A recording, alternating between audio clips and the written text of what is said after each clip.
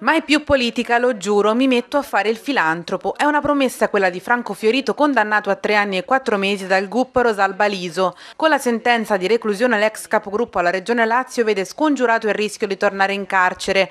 Considerando infatti che l'ex sindaco di Anagni ha già scontato a Regina Celi sei mesi di carcerazione preventiva e considerato che il tetto minimo per scontare la pena è di tre anni, l'ex tesoriere non tornerà in carcere. Una cosa deve essere chiara, non ho rubato nulla, quei soldi mi sono stati stati assegnati tramite delibera, continua Fiorito. Per questa storia ho fatto fin troppo carcere, ho dimostrato, documenti alla mano, di non aver commesso alcun peculato. Spero che la sentenza venga ribaltata in appello. Per sua stessa ammissione, inoltre, Fiorito tornerà a vivere nella casa di Anagni. Vivo vicino casa di mia madre, lei ha bisogno di assistenza, è malata, ha raccontato lasciando il tribunale. Questi ultimi mesi sono stati difficili. A Fiorito è stata applicata intanto l'interdizione per cinque anni dai pubblici uffici. Il giudice ha accolto le richieste di patteggiamento avanzate dagli ex collaboratori di Fiorito, Bruno Galassi e Pierluigi Boschi, un anno e cinque mesi di reclusione al primo, un anno e due mesi al secondo.